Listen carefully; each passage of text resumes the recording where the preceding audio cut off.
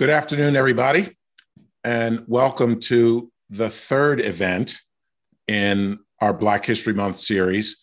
I am thrilled that so many of you chose to join us because I think we have a really, really great conversation today. Today, I'm fortunate to sit down with Dr. Michael Lomax. Uh, Dr. Lomax has served for almost 20 years as the president and CEO of the United Negro College Fund, or better known as UNCF. Uh, during the time of his leadership, this uh, long and storied organization has raised more than $3 billion and helped more than 100,000 students earn college degrees and start their careers. Um, we're going to spend a lot of today's session, in fact, most of it, talking about Michael's stewardship of UNCF and historically Black colleges and how he sees the history and future and contribution of those institutions. But it would be really unfair to Michael uh, to just characterize and introduce him as the president and CEO of UNCF. He has had such a storied career that I really want to start with him a little bit. As I said, for almost two decades, he's been the face really of UNCF, but he's also, over the course of his career, he's been a scholar and an educator. He's been an innovator in the arts and culture. He's been a groundbreaking elected official and many, many other things. So, Michael, I want to start by just giving you a chance to maybe share a little bit more about your background and then maybe segue by telling us how those early experiences helped shape you and help shape your leadership of UNCF? First of all, let me say how excited I am to be here and to have an opportunity to spend some time with you and uh, your colleagues. Um, you know, I was born in Los Angeles in post World War II uh, period that uh, was, you know, a, a time of economic expansion, but also a time of incredible civil rights uh, activity. And my parents owned a little weekly newspaper, and my mother wrote it, and my dad produced it. And uh, they'd been doing that in, throughout the 1940s. And in the 1950s, uh, as the civil rights movement began in the South, my mom decided that she wanted to go south to cover it. And so in 1956, she took a week off from raising six kids and writing a newspaper and went to Montgomery, Alabama, uh, to cover the bus boycott. She met Dr. King, Coretta King, had dinner at their home, uh, met Rosa Parks and other leaders of the civil rights movement.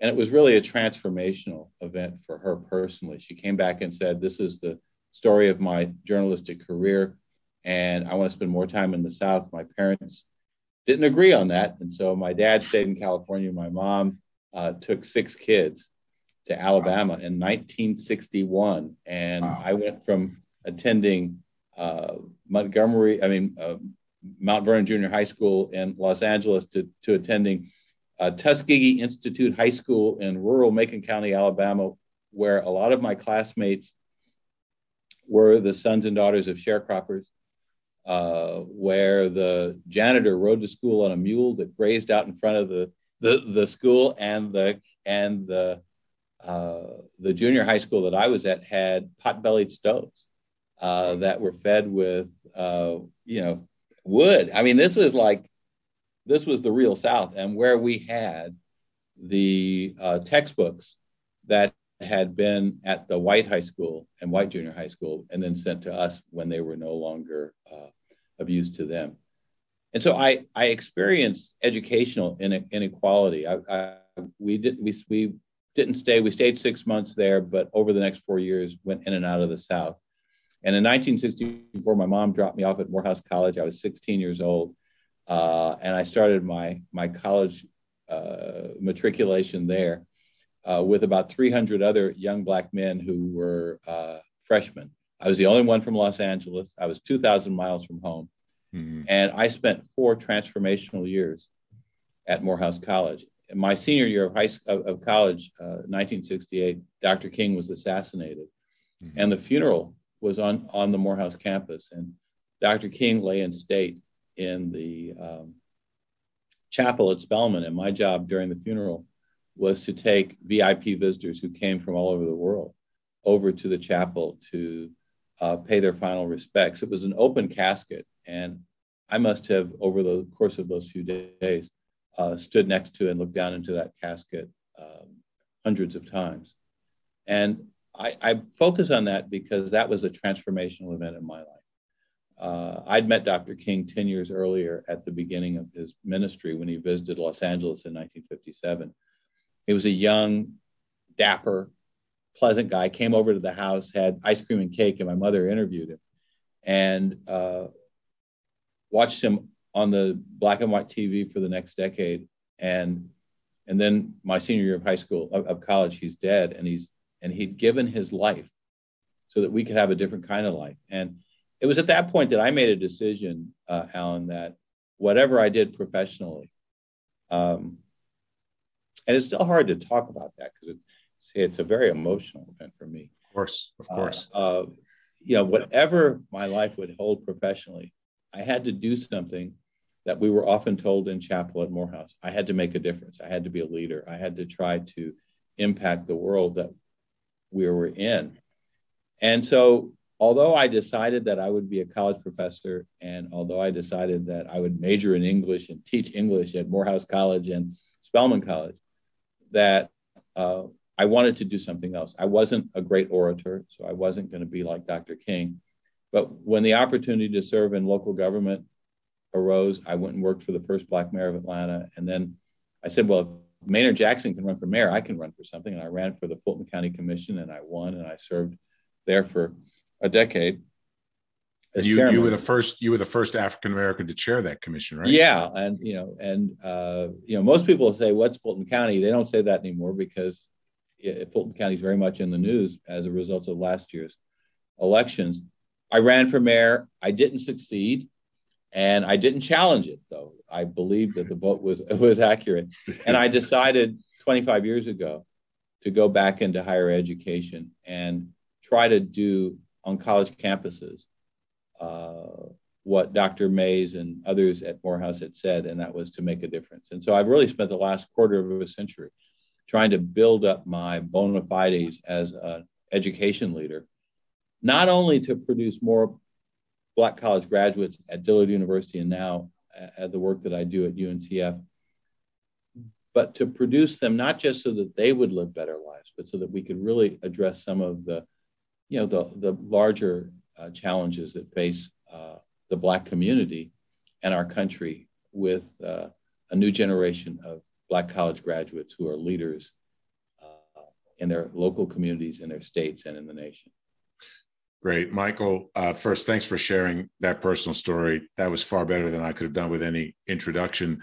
Like, there's so many things just in that story that could be the subject of an hour long fireside chat in and of themselves from your mother's early experience, your family transition, your early experiences. But one thing's clear uh, this notion of experience, commitment, and mission with Black colleges has been there for you um, almost since the beginning. Mm-hmm. Um, and so I want to kind of pick up on that mm-hmm. and then pivot the conversation to talk about Black colleges and about UNCF. Mm-hmm. So, you know, on a surface level, UNCF has probably one of the best known mottos of all time. A mind is a terrible thing to waste. I think everybody knows that motto except maybe Dan Quayle. Um, uh, yet, Yet there are a lot of people who don't actually know what UNCF what UNCF is, why it exists, mm-hmm. and how it got started. And yeah. maybe without going into too much, maybe we just level yeah. set by telling that story briefly. Well, UNCF was founded after World War II in 1944 by one of the great social entrepreneurs of the 20th century, Frederick Douglass Patterson, who was the third president of Tuskegee Institute. Mm-hmm. And Dr. Patterson was an innovator you know, um, he, he, was the he was the third president of Tuskegee. Started in the 1930s, and he decided. And if you've ever been to rural Macon County, Alabama, that he would in 1930 say, "I want an aviation program at this institution." You had to be a visionary, right. uh, and then to to actually make it happen, you had to be very industrious. And he he was a, he was an aviator. He flew airplanes, and then he said, uh, as he saw the war was going to break out, he said, and he he heard that there was going to be that in World War II they would train black aviators. He's, he got them to create a program for the federal government on the Tuskegee campus. He created the Tuskegee Airmen, and as they say, the rest is history. Mm-hmm. So he's a guy who could have big ideas. At the end of the war, he said, Black people are going to come back from the war, from the war industries, women and men, and they're going to they're going to get educations, and they're going to push the country to give them more opportunities in in the in, in the private sector. And so he he called all the black college presidents together and he's challenged them to create a United Negro College fundraising organization. They enlisted John D. Rockefeller to be the chair of the first campaign. They raised $750,000 in 1944, which was the equivalent of $10 million. And in the 78 succeeding years, we've raised $5 billion and helped a half million students you know, go to and graduate from school. So we do three kinds of things uh, to do that. One is that we support historic, private, historically black colleges. There are over 100 black colleges. There are 37 of them are members of UNCF. Morehouse, Spelman, Clark Atlanta University, Xavier University, uh, Bennett College for Women. Those are members of UNCF, but we also support all HBCUs. But we support the colleges. The second thing we do is we support students who want to go to college. And our iconic motto, a mind is a terrible thing to waste, which was created by Vernon Jordan during the one year he was executive director of the United Negro College. But you know, Vernon could do in one year what the rest of us would take decades. Right. He creates that motto with uh, Young and Rubicam, raises tens of millions of dollars to help provide scholarships. So we've become the largest private provider of scholarships uh, to students of color in this country. At our peak, we were giving about $100 million a year away in scholarships.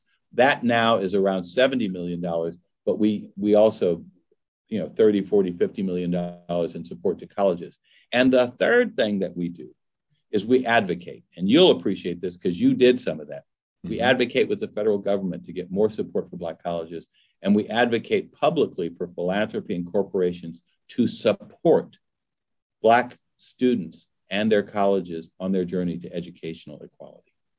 So that's what we do. And we've been doing that for 78 years and we do it pretty well. That's great. And we're going to come back to some of those themes, particularly the second and third theme. Uh, you mentioned my prior career in advocacy. I also had a little bit of time at UNCF at that time.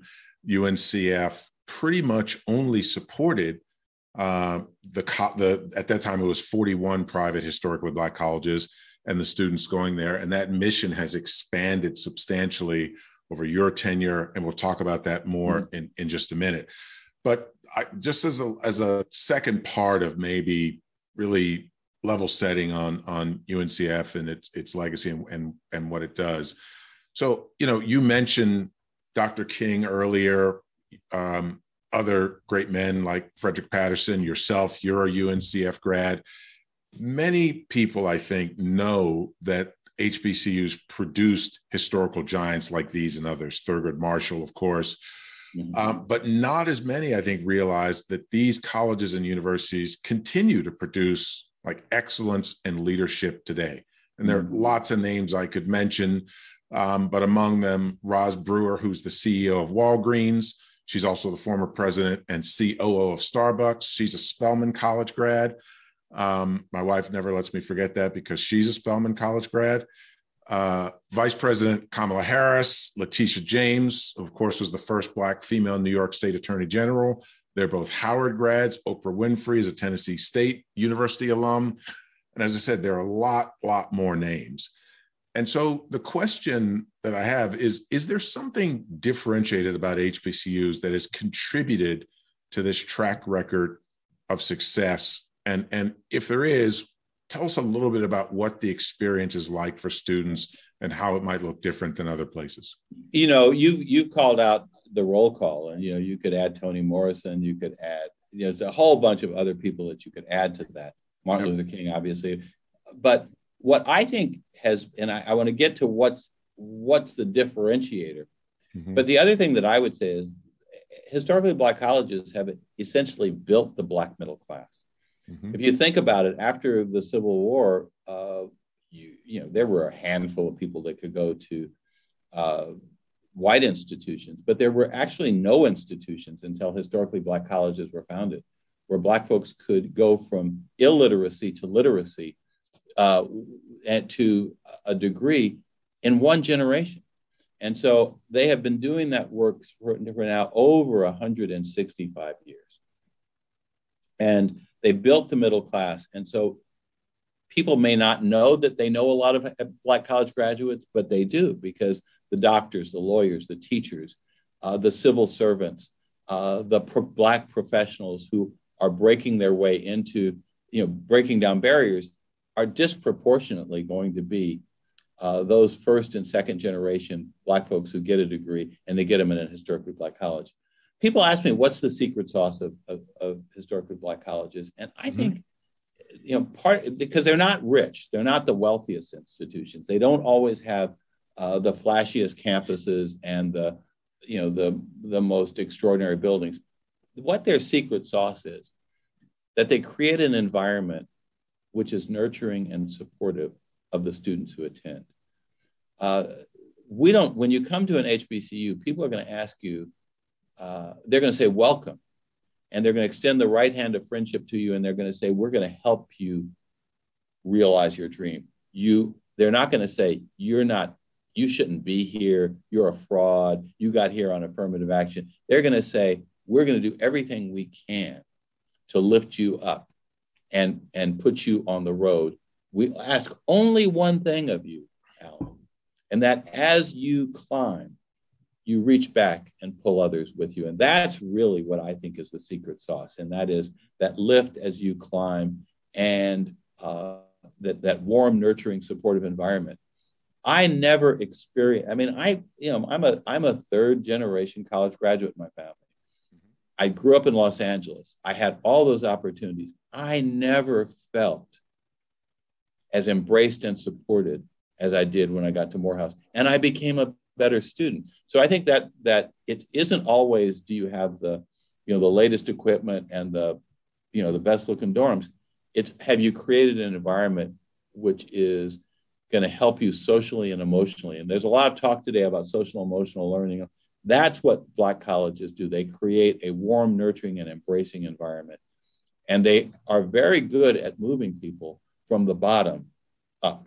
And so, you know, uh, over 75% of our students are Pell eligible. That means they're low income. Over 50% of our students are the first in their families to go to college.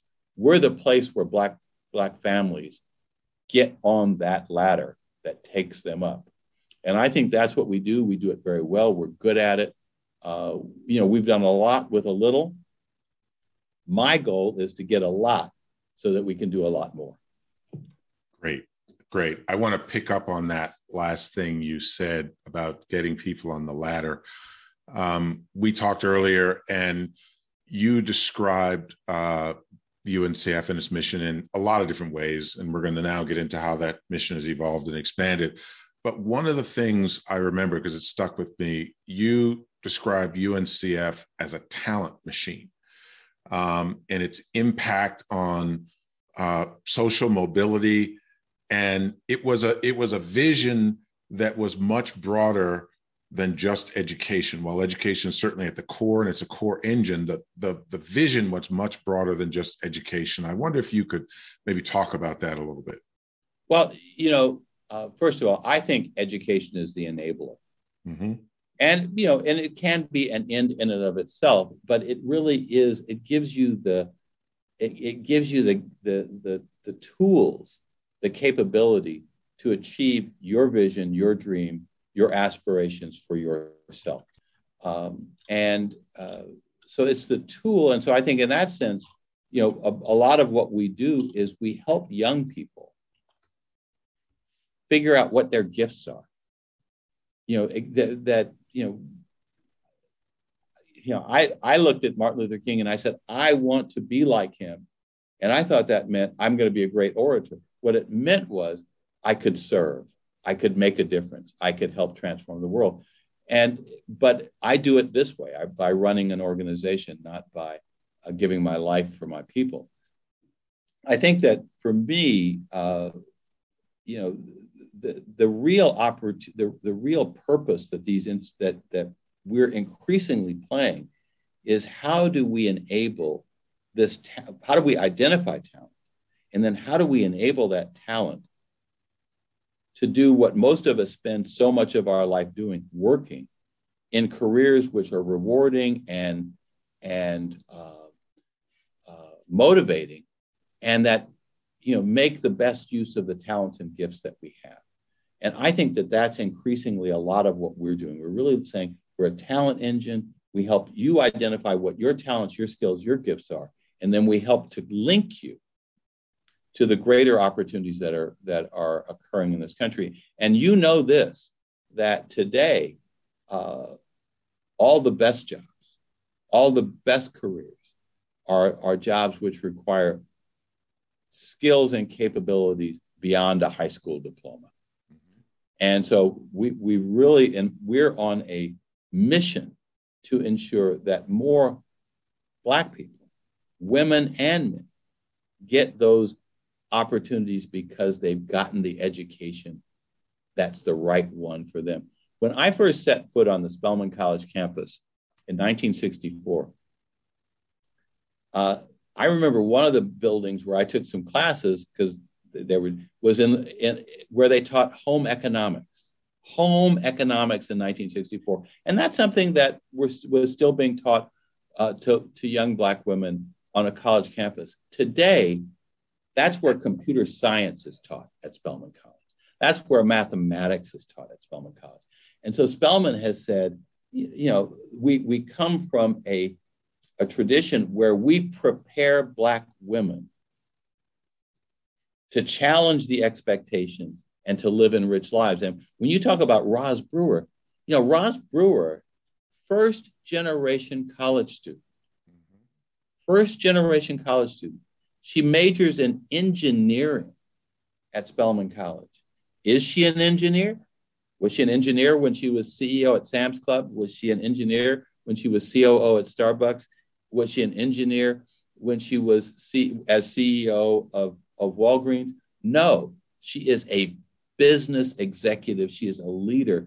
And who gave her the confidence to keep pushing her skill building and her capability building? It was Spelman College that recognized in this Black woman, that she, this young Black girl, that she had the capability to be a leader. And what is she doing today? She's chair of the board of Spelman College, and she's lifting others as she climbs. Mm-hmm.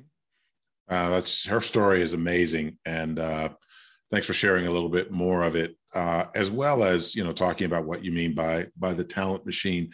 You know, the the thing I'm struck by is that if you take this notion of a talent machine, one of the things UNCF has done over the last uh, decades is to expand its focus on that talent machine beyond the 37 member colleges and universities. I, I, I think, if I make no mistake, that started um, maybe a little bit even under your predecessor, but you expanded it significantly.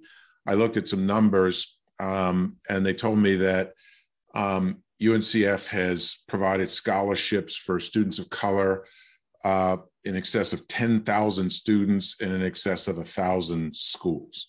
Yeah. And I wanted to just understand more about how you think about that and balancing that with this core mission around the 37 uh, private historically black colleges and universities and, and then there are a few other specific yeah. projects i want to ask you about after that so actually it, this the work of expanding the reach of, of uncf began with my predecessor and your former boss, mm-hmm. uh, Bill Gray.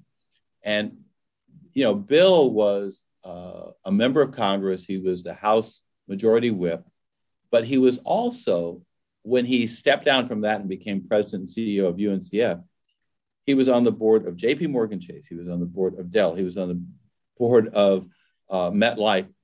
He had all of these relationships in the business community. And one of the people he met early on was Bill Gates and Melinda. And he challenged them to think about supporting Black colleges and Black students. And they challenged him. He, they said, We'll give you $1 billion to provide 1,000 scholarships a year, 35% of which go to Black students, 35% of which go to Hispanic students, 15% of which goes to Asian Pacific Islanders, and 15% of which goes to tribal uh, to, to Native Americans. What we want you to do is give them, and they will each get full rides to go to this, the institution that they want to go, that they think will serve them best. And over the 20 years that we did that program, and they gave another 600 million. So that total program was 1.6 billion dollars. It mm-hmm. helped 20,000, it helped 10,000 students. I, I get this right, 20,000 students over the 20 years of the program. Right. Uh, that program had students went to Harvard, to MIT, and to HBCUs and to tribal colleges, but we had a 90 over a 90% completion rate because we removed the financial barriers and we let the student choose where they wanted to go. And we learned that when you you take that financial consideration away from a low, and every one of those students was low income and first generation. And when you remove that barrier, that really lifts the students up. And if then you if they go to a school where they're feeling like they're valued and appreciate, they they're even more successful. So you know, we we've demonstrated that with that program from Bill and Melinda Gates was that we could that that the the biggest obstacle facing so many high performing low income students isn't their ability to do the work it's their ability to pay for the, the college education it's the ability to focus all of their attention on that and not worry about how am i going to pay tuition how am i going to pay for the books how am i going to um, you know, take the pressure off of my family? How am I not going to take out loans? So that, that was a big learning for us. And, and it showed us that we could do that work at scale. But it also made us, uh, and, and we helped create the Hispanic Scholarship Fund. We helped the Asian Pacific Islanders build their own scholarship fund. And we worked with our Native American uh, partners. And we have been advocating with them for more federal support for those programs. So that's been a big piece of of our more expansive vision. But today, we're very focused on looking at all historically Black colleges and saying, how do we take them? And they have, on average, a 40% graduation rate over a six year period. How do we get more students to succeed at those schools? Mm-hmm. How do we make those schools even stronger academically? How do we make them better run enterprises? and how do we get more resources to them so that they too can remove the financial barrier and help these young people soar just think what it would be like if instead of 50,000 graduates annually because we got the graduation rate up to 90% we had 100,000 graduates every year leaving black colleges and going into uh, the workforce so that's you know our our goal right now is to even be to, to make sure that these institutions are even more effective in producing 21st century graduates who are ready to get out there and compete in the 21st century economy. Right. And I, I know that, um, you know, as part of that, you and you and UNCF have been focusing on things like capacity building, um, and I'm not sure if it's related, but you also told me about a project that you're initiating, I think, with Thurgood Marshall called the Audacity Project. Can you talk about those two things and how how they fit in? Well, we have been invited. There's there's a there's an something called the Audacious Project, and it's a TED. It's embedded in TED, and they uh, invite a handful of organizations every year to compete, to offer up a big idea uh, and to compete for uh, what could be up to $100 million of investment in bringing that idea to life. And if you know anything about the Audacious Project, a lot of what they're focused on is inequality, inequity, and removing obstacles to opportunity, to mobility, moving people out of extreme poverty into sustainable living, uh, sustainable eco- economic life. And so, what we want to do, so much of American education is very focused on how do you turn more institutions into very elite institutions? How do you make them more exclusive? How do you improve their graduation rate? How do you get the best students to apply? And I think that's important. And we have some schools that are highly competitive. Spelman College, I was talking to the president there. She said we had 13,000 applications for our freshman class. You know, you know, the most we've ever had. So, you know, these are highly competitive positions. But I actually want to, to work with some of our institutions, which are open admissions, open enrollment. Mm-hmm. And I want to figure out how we can be more successful in reaching deep into the communities of poverty, which often surround HBCUs, and lifting people out of those communities onto the campuses and getting them the skills so that they then can take advantage of the jobs, which are increasingly coming into the regions where these HBCUs are. And, and you know, that's that for me would be taking our economic mobility, our social mobility, our ability to move people out of poverty and putting it on steroids. Because, you know, uh, we're a nation today of extremes. We have, uh, uh, you know, very wealthy people who are getting, you know, the full benefits of this market economy.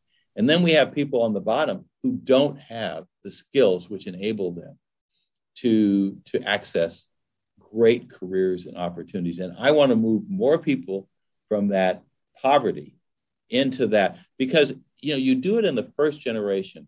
Somebody moves from poverty into the middle class. They can go from the bottom two quintiles into the you know the the 60th percent or but by the second generation they're pulling up family members and their their families are in the middle class and what I want to do is to, to see how HBCUs, and this is uh, what we're thinking about with Thurgood Marshall, how some of our HBCUs can move not just individuals, not just not just families, but entire neighborhoods and communities from poverty to sustainable. And that is the sort of the big idea that we're working on right now. That's great. I, you know, I don't know that it, it, sounds like it's in the early stages of development, but that notion of, you know, it's it's again another place where you're talking about expanding beyond a narrower definition of an educational mission to a broader definition. And if there's anything more you can say about what the visualization is for the community impact with you and Thurgood Marshall, that would be great. Or, or maybe it's maybe it's too early. It's just in. Well, the, I would I would just say this, and that is here's what we do know Mm-hmm. There are 100 plus HBCUs. They employ 140,000 people. Mm-hmm. They have an annual economic impact by the study that we did in 2015 of nearly $15 billion annually. They are mostly located in Black neighborhoods and Black communities. They are the anchors of those communities. And so, what I'm asking is yeah, they're they're there and they're doing their work, but how do we leverage that to have this impact on the communities so that we don't move people out of the communities? We actually make the communities places where people who are who have great jobs and are doing uh, the work of the 21st century, where they can feel like I can live here, I can raise my family here, I can stay here. I don't have to move out to the suburbs. I don't have to move across town. I can have that here. So we want to we want to see if we can have a more intentional and strategic impact on creating st- stronger communities as opposed to what we see happening in a lot of our cities and also around some of our HBCUs gentrification people move who want to be in the city they're moving in the city they're moving out the low income people and they're taking that proximate to the downtown campus and turning it into something which doesn't look like the community that built that. Right. That makes a lot of sense. I mean, it's not it's not universally the case, but it is often that as universities expand, you get more displacement than integration of that university into the community. So I, that sounds like a great, uh, great initiative um, that'll have a lot of impact. Um, I want to try to con- start to connect um, this discussion to sort of current events and recent events. And um, you know, one of the things that uh, you and I talked about was the impact of the pandemic on HBCUs. And I think, you know, like like many institutions, there, there's reason to think that a pandemic might be really damaging for colleges in general, black colleges. You could see kind of a drying up in in donations. You could see any number of sort of negative potential uh, effects. But as you told me the story, what actually happened was almost the opposite. Can you can you go through that for us? Well, when uh, so let's turn the clock back to 24 months ago to March of 2020, and there's this word that there's gonna there's a pandemic, and we're we're having our 77th uh, annual meeting in Washington D.C. And uh, Nancy Pelosi is speaking, and we've got all these, these these members of Congress, and they're saying this pandemic is real. It is going to happen, and it's going to disrupt everything. And and so we decided after that meeting, and we we just decided to shut down our operations in person, to call off the fundraising events that we had going forward, and we were just going to hunker down and try to create a virtual UNCF. But we worried, Alan, that this could be an existential moment for UNCF, and it could certainly be damaging for HBCUs. And one of our donors called me and said, um, I want to give you, and he want to do this with Thurgood Marshall, I want to give you some additional do- millions of dollars to bring in uh, McKinsey and Company to help you do to, to, to navigate your way through this. We want you to have world class guidance on how you do uh, crisis management. We, we want you to have world class guidance on how you do recovery, uh, stabilization. We want to give you world class guidance on how you get into recovery. And then if we get to those three stages, we want to talk about transformation. And I said, oh, this seems like a good idea. And we began that work. And, and, and then we started seeing what the news was telling us. The news was telling us that this was impacting Black people and low income people uh, disproportionately. And then in June of that same year, we, we saw a racial, um, um, you know, we, we, we saw renewed racism. We saw the murder of George Floyd. And we saw for both our students and our faculty, uh, and particularly our students, we, that, that this was having a very intense negative impact on them emotionally, psychologically, and economically, because 75% of our students are low income. And so we had to do a lot of things, uh, including get more federal support for Black college students and low income college students, get more federal support to invest in stabilizing our institutions, um, and also preparing them for when they would be able to reopen. And you fast forward 24 months, and and you and and because of the work that we've done, HBCUs are actually economically financially in stronger condition than they were at the beginning of the pandemic. Their enrollments are flat or increasing. And you, you saw that institutions like community colleges, which have the same demographic of student, had double digit losses in enrollment. And so they're actually stronger and better able to, we're better able to withstand that because of the work that we did. Now, we're really we so we've done the crisis management we've done the stabilization we've done the near term recovery and now our focus is on transformation more investment to make them even more effective educationally and to have them operate even more effectively as the enterprises that they are yeah but you know i heard a lot of things coming together there um, really uh, the improved financial condition of many of these colleges and universities, in part infusions of money from the government. But you've also just gotten a lot, lot more private sector, corporate and individual and foundation support in the wake of George Floyd and what's called the you know the racial awakening of this country. We've seen so much more financial support for these colleges and universities. There's always room for more, of course, but there, it's been significant. Yeah. And then, for a variety of reasons, uh, socially and culturally, as you said, we've seen more and more young students think that an HBCU is the place where they're going to really find their best educational opportunity.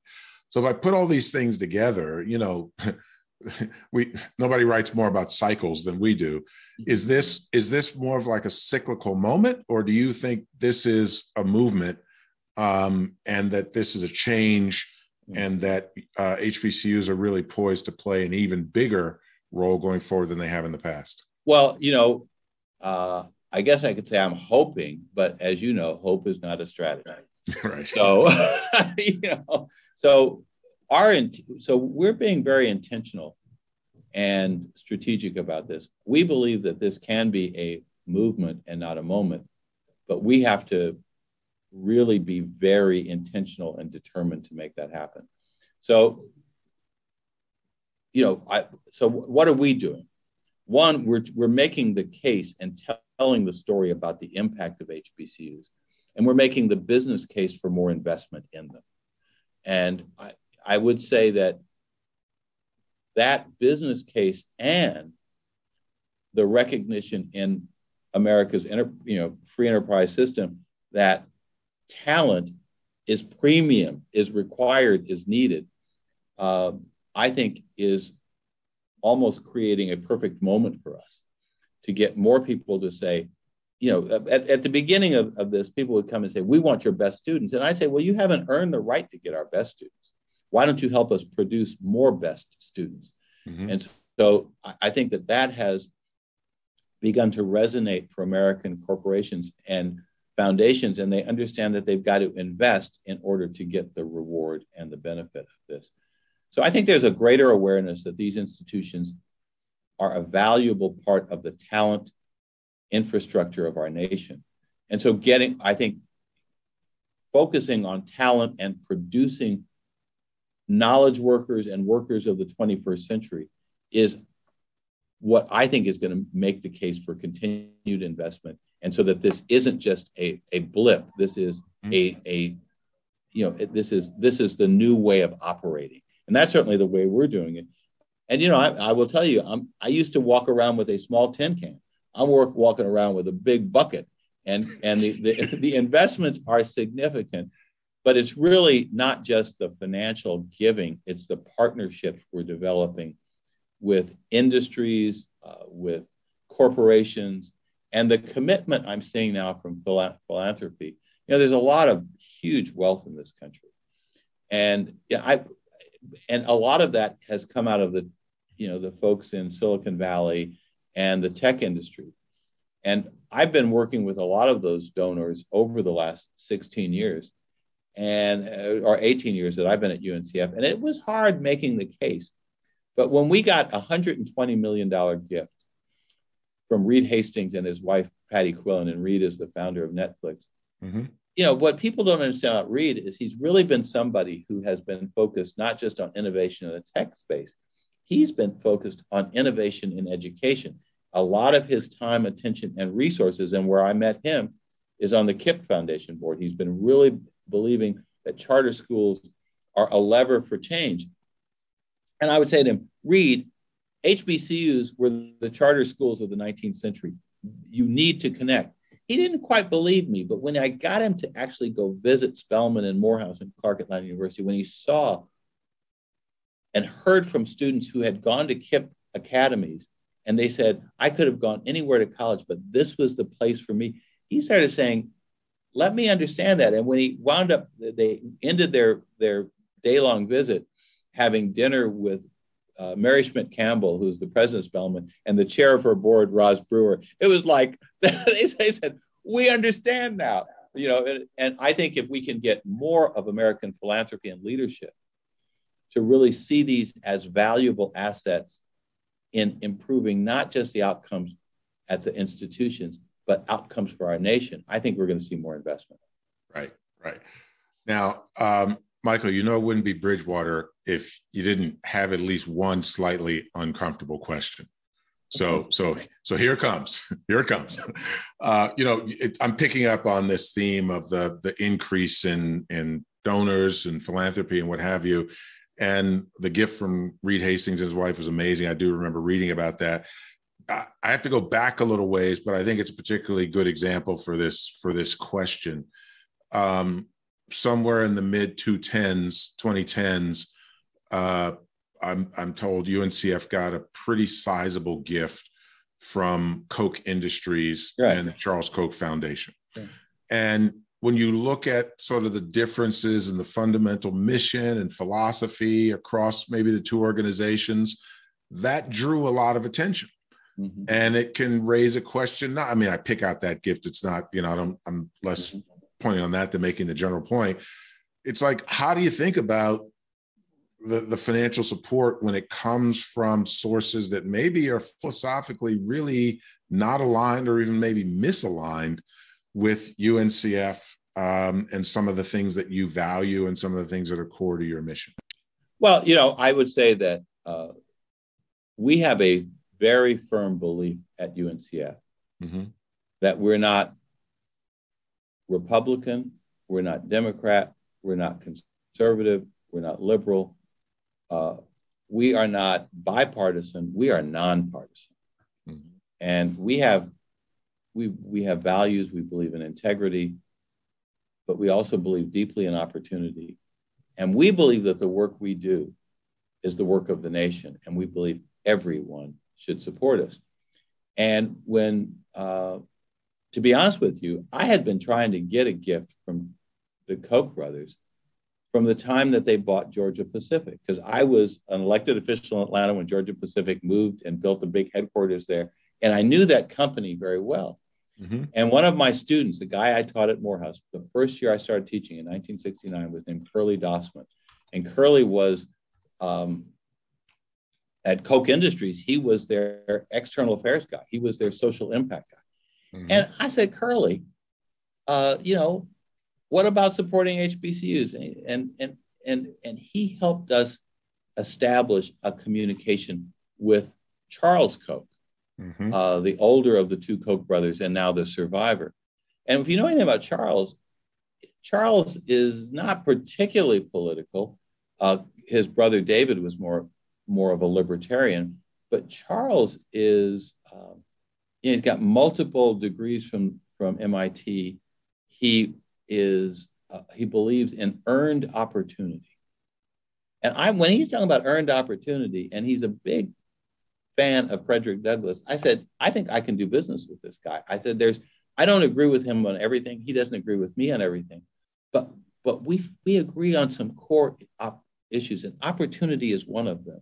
Mm-hmm. And he believes that, and and, he, and then when he started meeting our students, he got really excited about their talent and their capabilities. And when he saw that the main obstacle to their success was financial, he said, I can fix that. Mm-hmm. I can deal with it. And people would say to me, well, I'll bet you he's, uh, you know, influencing what these students think. I said, you obviously have not met our students because they are independent thinkers. Right. I, I remember we did a program where he did a town hall with all of the Koch scholars at the National Museum of African American History and Culture. And those young people challenged his thinking, and he challenged them right back. Mm-hmm. And they had robust discussions. They didn't agree, but when they got through with that, they could still embrace. They could. The students could still say thank you, and he could say, "I really think you're a, a wonderful young person." And by the way, we're we're looking for more talent at Koch Industries. Got it. Got it. Well, that that's a great that's a great story. I want to I want to pick up on the piece of that that you know his focus was on the cost of this education and some, that's something he could fix. And you talked about it a lot before. So this next question comes from uh, one of the folks listening in and it, it probably takes you beyond your literal role as um, president and ceo of uncf and maybe into a broader policy question. But there's been a lot of talk and discussion uh, and, and some initiatives around uh, forgiving student debt canceling student debt. And I think there's some folks that would love to hear your view uh, on that and whether you think uh, that's a, that's a wise policy, important, essential. How would you think about it? Well, um, I think that the way the United States has done uh, financing of education through debt has been inept. Mm-hmm. If, if, if you were in, in Australia and you borrowed money to go to college, uh, you would have automatic payroll deduction from the time you graduated, taking a percentage of your income based on your income to repay your loan. Mm-hmm. And if you went to, but if you went to school in the United States, you'd have to apply for income based repayment. You, I mean, it's, and there would be five or six different programs that your loan could have come from.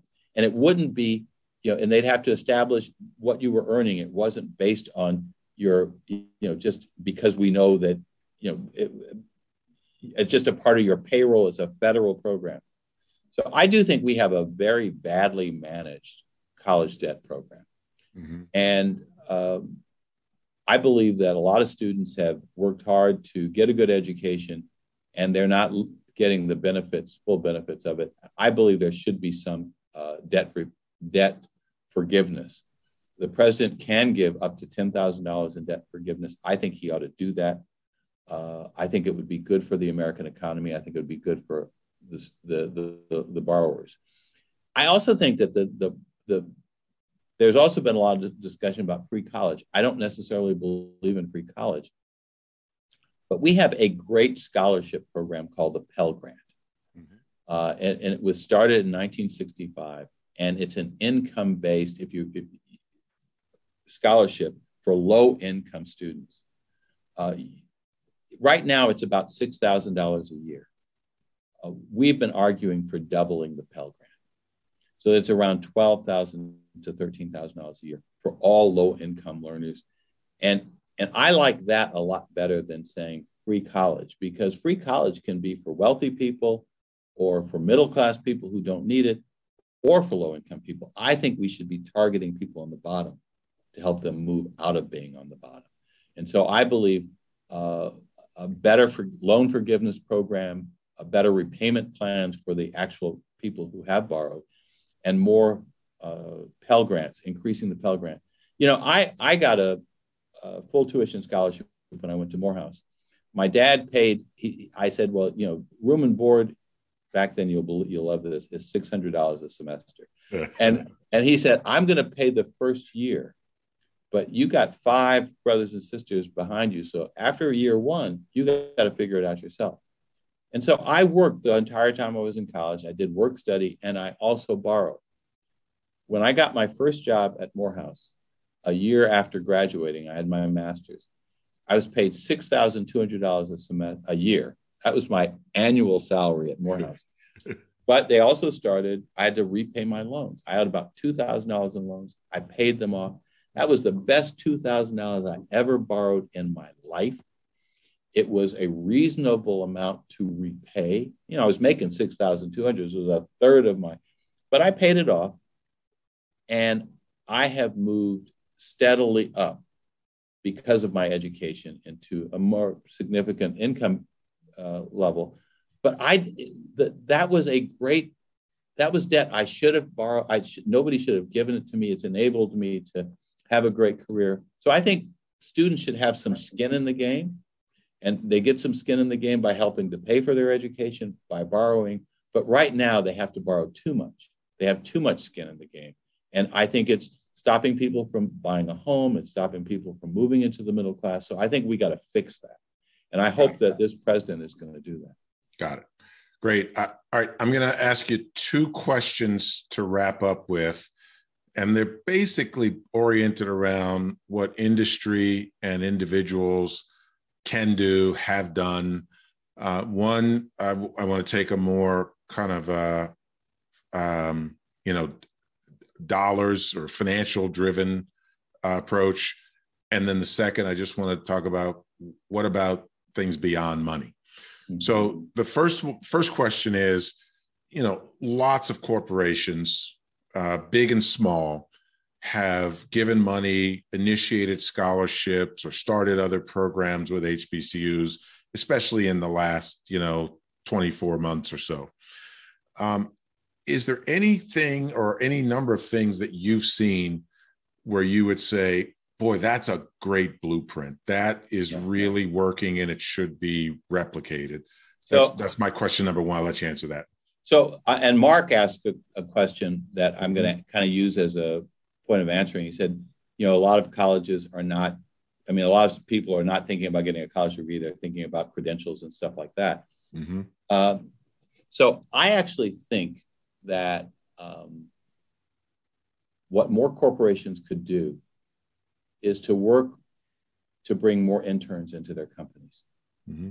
Uh, because particularly for low income first generation black kids and, and brown kids, they need to see the connection between what they learn in the classroom and what they will earn when they get out of the classroom. And, and, and actually there's, there's, there's a lot of research that says when you can make a connection between what you're learning and what you aspire to do, you actually work harder to learn more.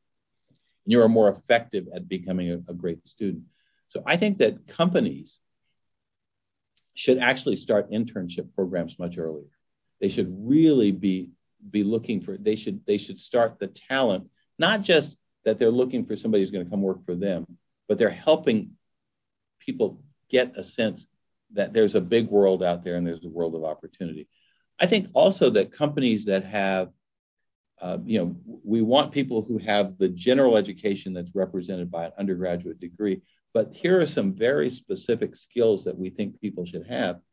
I think they should be working with education, including HBCUs, to create credentials and badges and to, to enable faculty to teach those the, the courses which enable them to earn these credentials and badges so that young people are actually beginning to do something they're going to have to do throughout their, their lives, and that is to re to get reskilled and upskilled uh, for the work that they're going to do. So I think that that companies typically are, you know, by the time somebody starts teaching something at a college, it's kind of stale. It's not the latest, latest. So I think more of that.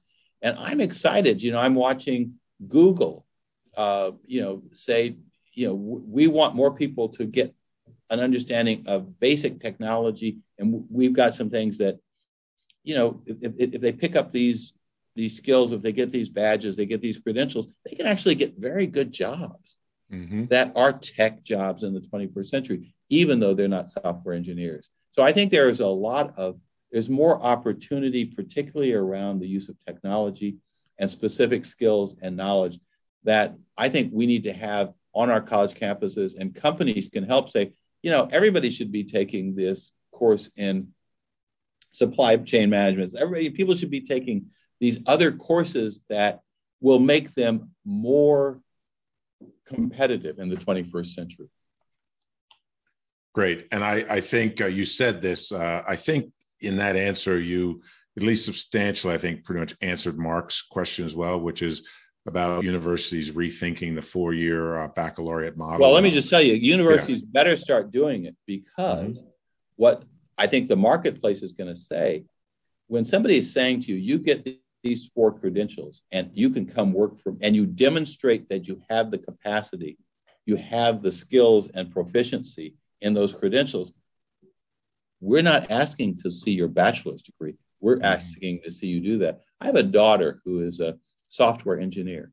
She went to, she got, she had two years of computer science at Howard when she told me, I think I've learned everything I can learn at Howard. I'm going to just stay out here in Silicon Valley. And, and she, she, she did through internships and, uh, and other uh, online courses. She got, she is now a senior software engineer at Lyft, mm-hmm. black female without a degree. They're not asking her, Can we see your Howard diploma? They're giving her a, an authentic interview and saying, You know, we want you to write this code for us. And, if, and, and we want to see how efficient and elegant that is. And that's the basis on which we're going to hire you. It's not on that degree. So I think that that colleges and universities are going to see that, you know, that they've got to add some of those real world skills and capabilities uh, if that degree is going to continue to be worth what a lot of students are having to pay for. Makes a lot of sense.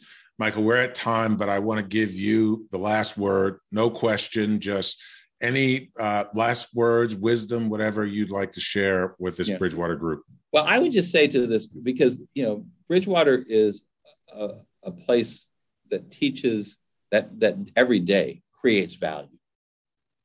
And uh, for your clients. Uh, and and you do that around finance. I think that my value is that we live in a world of human potential.